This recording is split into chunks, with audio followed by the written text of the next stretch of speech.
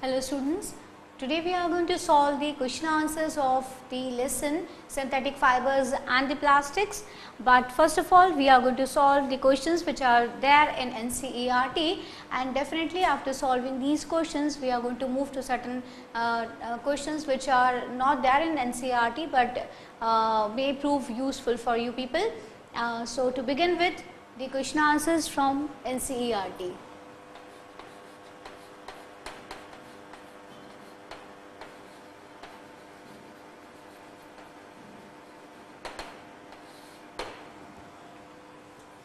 Now, the first question is explain why some fibers are called synthetic. Explain why some fibers are called synthetic. We know we have discussed this thing that fibers are of two kinds the natural one and the synthetic one. Now, obviously when we talk about the natural fibers like uh, take the example of the silk, wool, all these fibers are all the fabric are made up of the substances the raw material which is used over here is taken from the either plants or the animals and that is the reason these are known as natural resources. But when we talk about the synthetic fibers, the uh, raw material which is used to make synthetic fabric or fiber is not taken from the plants and animals, not taken naturally and so it all these are known as synthetic fibers. Now, uh, synthetic fibers uh, do not uh, uh I am saying that we do not use the natural thing, but in rayon we all have studied the wood uh, wood pulp is also used. So, synthetic and semi-synthetic fibers are there, but when we talk about the synthetic fibers then definitely these are made up of petrochemicals. So, the question was why the synthetic uh, explain why some fibers are called as synthetic. So, some fibers are known as synthetic because these are made by the uh, when by you by using certain chemicals. So, we will just write the answer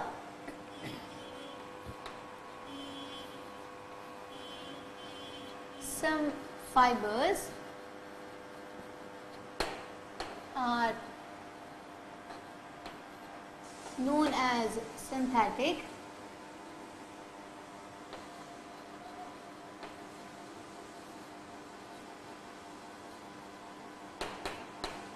As these are made by men by using identify the board using certain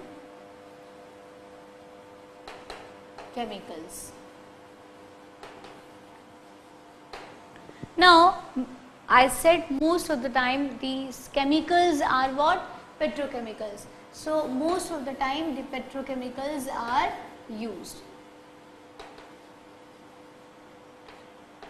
Now, what else is the reason? The simple thing is that these the fibers when the synthetic fibers are made the raw material is not taken from the plants or the animals the simple sentence and these are made by the petrochemicals if you want to write the example so example can be nylon polyester etc. We have read this in detail. So, this is the first question why certain fibers are known as synthetic. The simple reason is the raw material which is used to make these fibers are not taken from the plants and animals. And so, it is uh, these fibers are known as synthetic fibers or man-made fibers. Now, we will move to the second question. Now, second question is mark tick or mark or tick and the bracket tick is there the correct answer. Now, rayon is different from synthetic fibers because they are asking that rayon is different from synthetic fibers because A it has a silk like appearance too but then many fibers have got silk like appearance uh, it is obtained from wood pulp. Definitely this is the reason why the rayon is different from the other fibers because rayon just now before explaining this that why certain fibers are known as synthetic fibers I said this point also that when we talk about rayon rayon is a semi synthetic fiber. Why? Because the uh, the material which is used is wood pulp. Material to make rayon is wood pulp. That is the reason why rayon is different from the other material. Rayon is different from other material. This is the question number 2, definitely 2 and I will just write because it is, it is made up of, it is made up of wood pulp.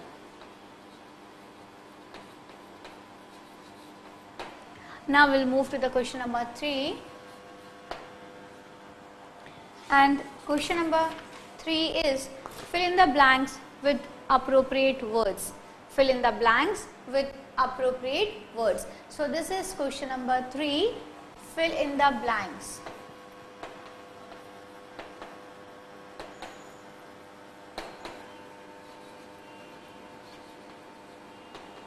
Fill in the blanks. Now just we'll have a look on these, fill in the blanks. Yeah, the first one is synthetic fibers are also called dash or dash fibers. Same thing which we were discussing now that uh, synthetic fibers are also known as uh, the uh, which kind of fibers man-made not ma it's man-made fibers isn't it so they are asking uh, synthetic fibers oh two dashes are given. So synthetic fibers can also be known as dash and dash. So it can be known as artificial fibers and can be known as man-made fibers. So the first the number is a. It's not first it is a. So synthetic fibers are also known as man-made fibers Now the question is like this only man-made or artificial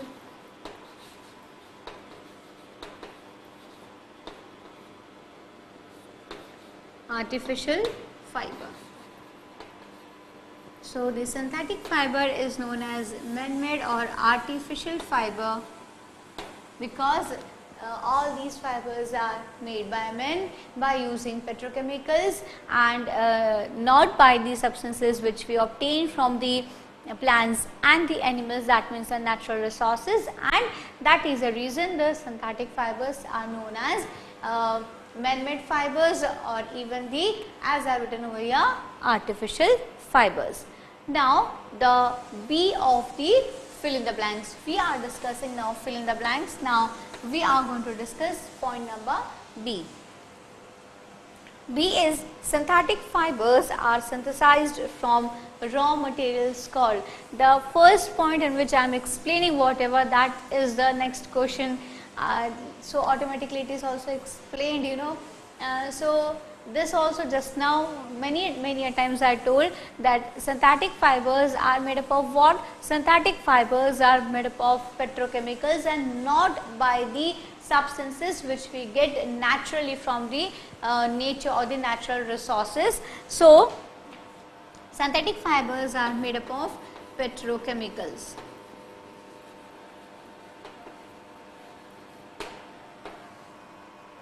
Now, we will move to the third one so, uh, first is man-made or artificial fibers and second is petrochemicals, second is petrochemicals. Now, we will move to the third one. Now, third is, uh, is uh, like synthetic fibers, plastic is also a. We know that all these synthetic fibers are made up of what? Polymers.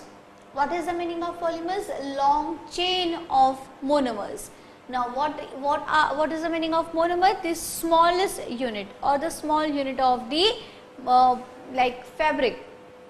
Monomers they combine uh, and the, the this process is known as polymerization and when monomers combine they form polymers. Poly means many and the mers the small units the many small units combine or they, they, they get you know uh, bind together end to end, they get binded together end to end and polymer is formed. So, the question number C is like synthetic fibers plastic is also made up of. So, we have discussed this that plastic is also a polymer. It is also made up of polymers and we have discussed that how the monomers they combine to make the polymers and uh, these small monomers join and this process to form polymer and this process is known as polymerization.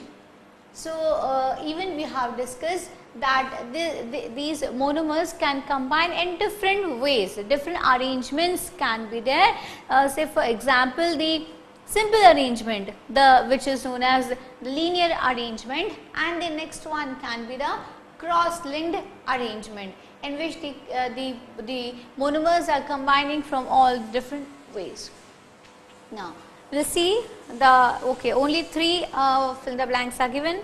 Now, we will talk about the question number 4th and question number 4th is give examples which indicate that nylon fibers are very strong.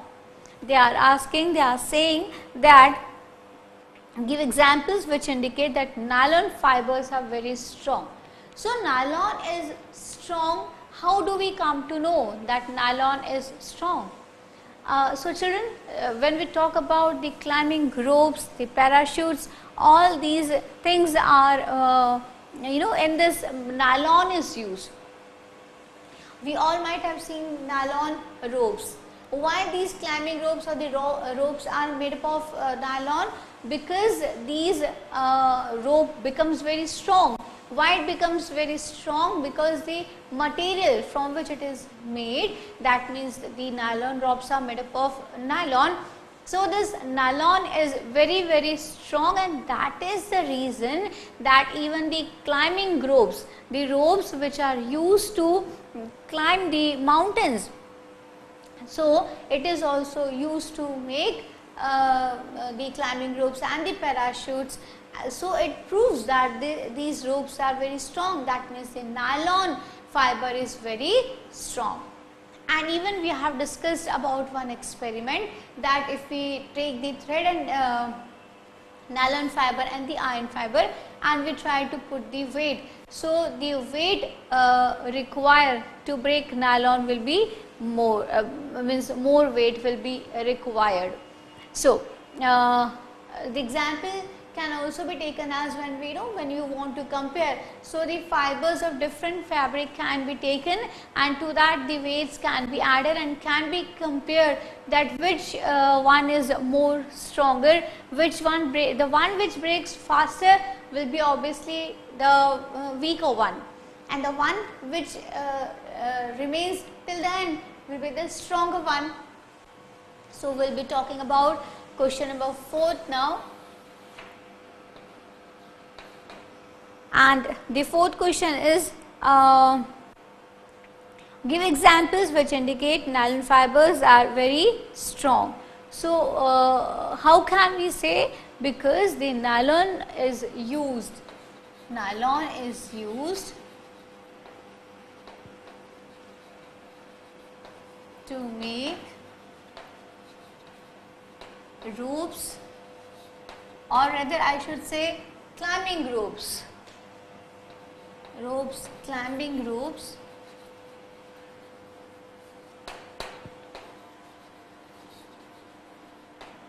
Then uh, parachutes.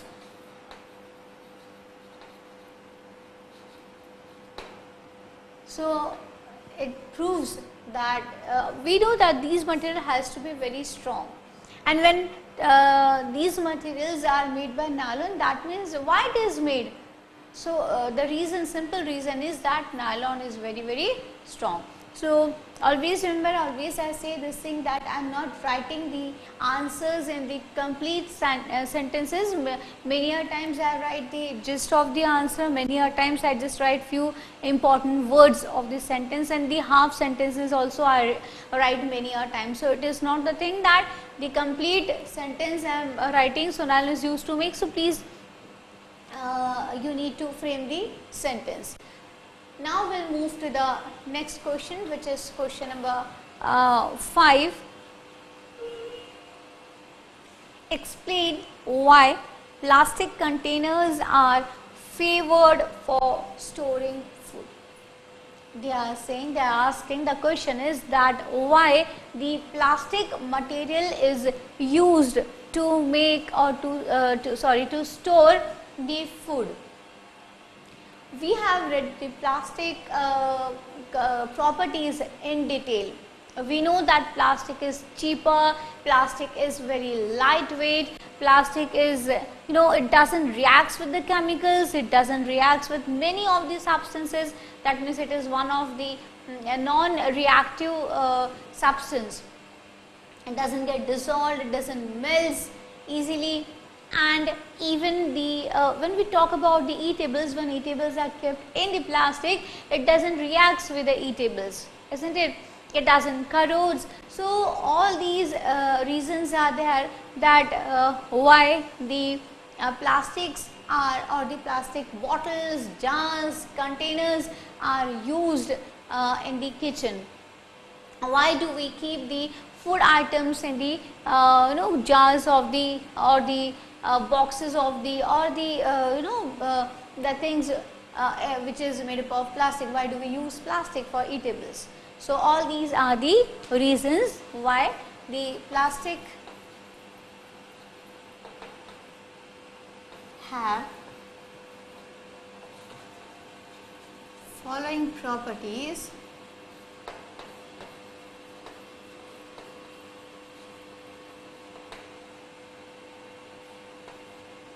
which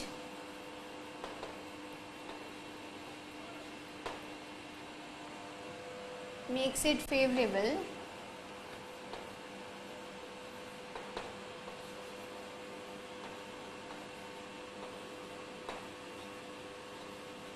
to store food items.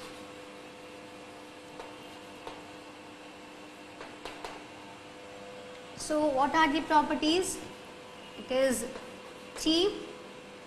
While explaining this, I have explained that if you compare the price of the uh, plastic tiffin and the steel tiffin, so definitely steel, steel tiffin, uh, still uh, stainless steel tiffin is more costlier than the uh, plastic one. Even we talk about the bottles, we talk about the other substances, other objects also, the plastic is the cheaper ones. So, it is cheap, it is light.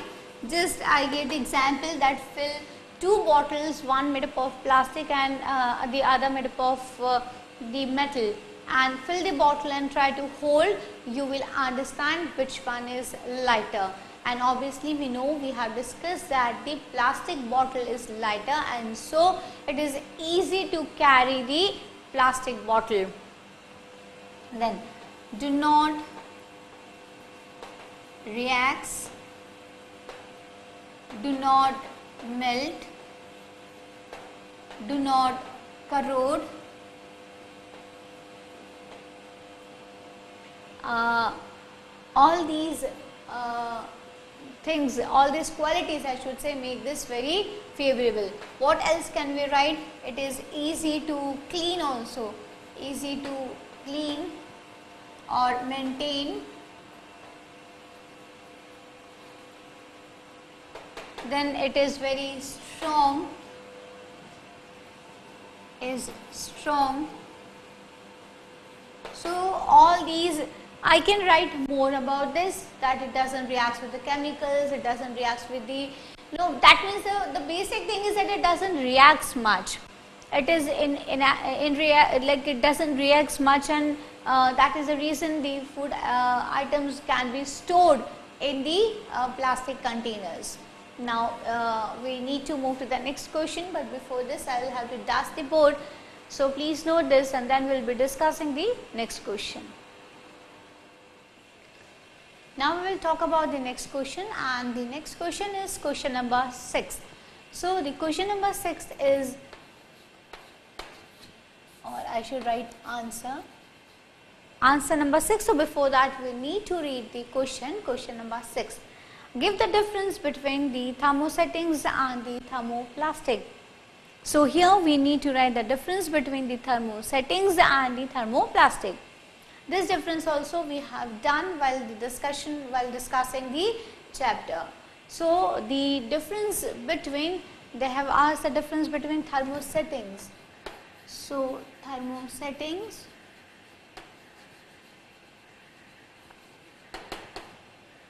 and thermoplastic.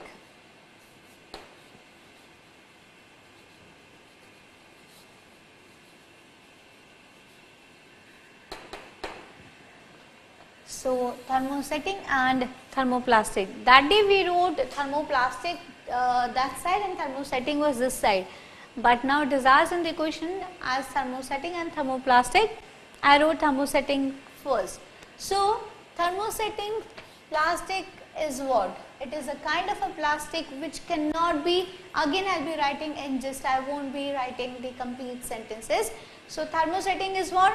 It cannot be reshaped, it cannot be remolded, it do not become soft on heating, isn't it? So, thermosetting is, it do not or can't be reshaped can't be remolded. And can't and do not become soft. Do not become soft on heating. It do not become soft on heating. Now, uh, we'll talk about thermoplastic. It is just opposite to that. So, can be reshaped.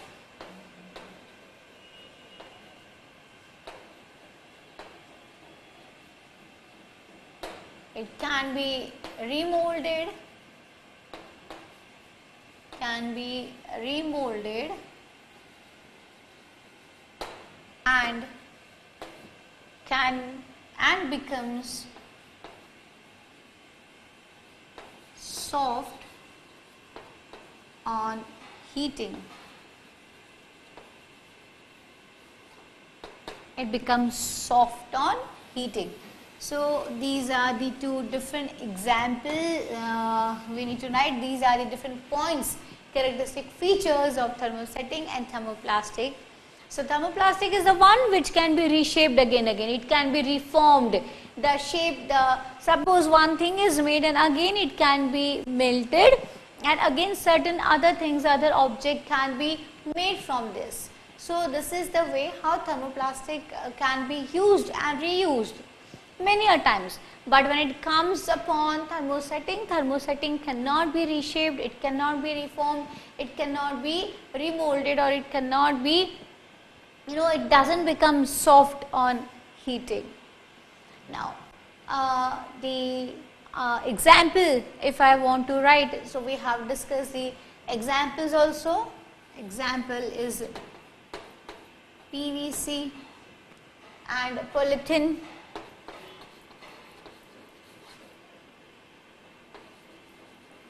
and here bakelite and melamine.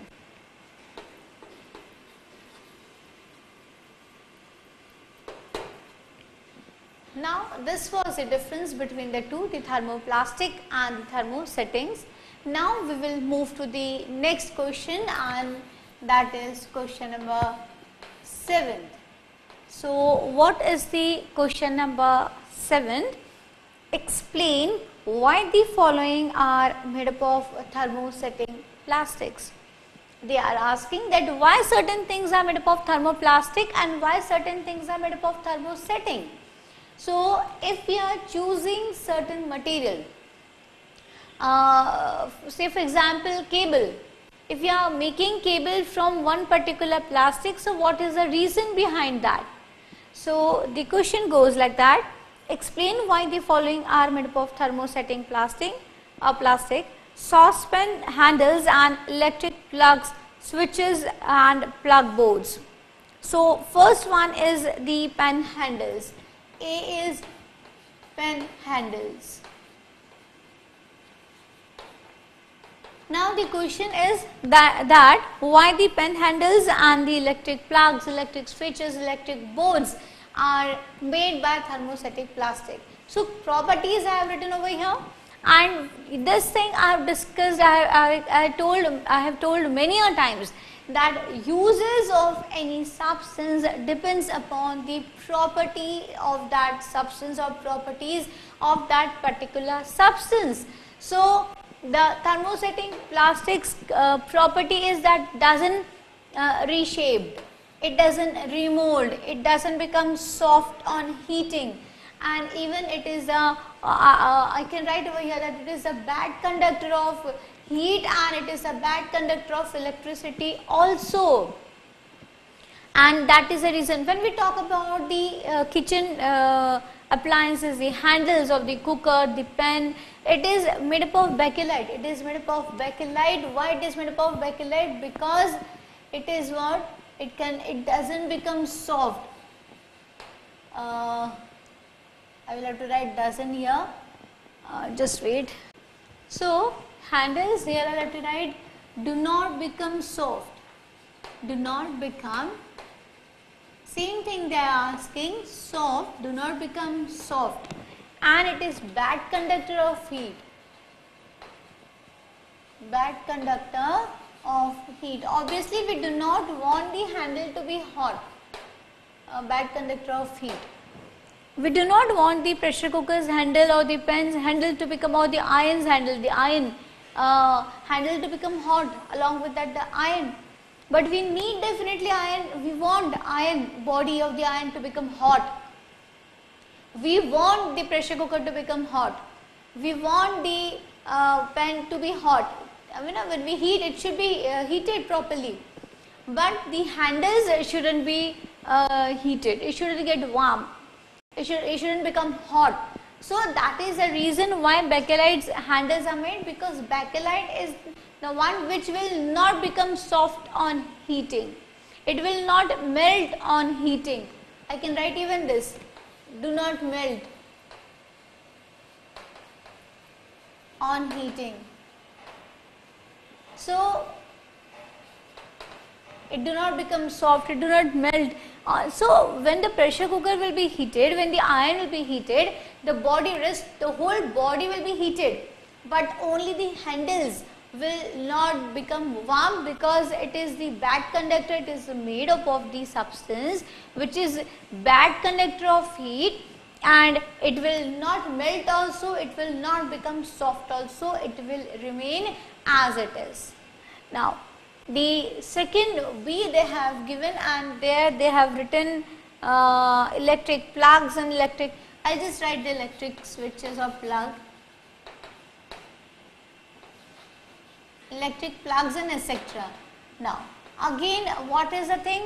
The two things will be uh, same that doesn't become soft when electric current uh, is passed you know in them and best is what that are because is because it is bad conductor.